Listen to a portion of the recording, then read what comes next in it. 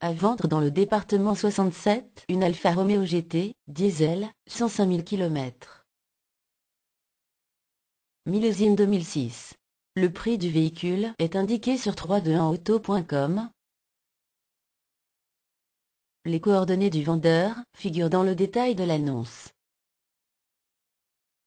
Retrouvez cette annonce sur 321auto.com en cliquant sur le lien dans la description.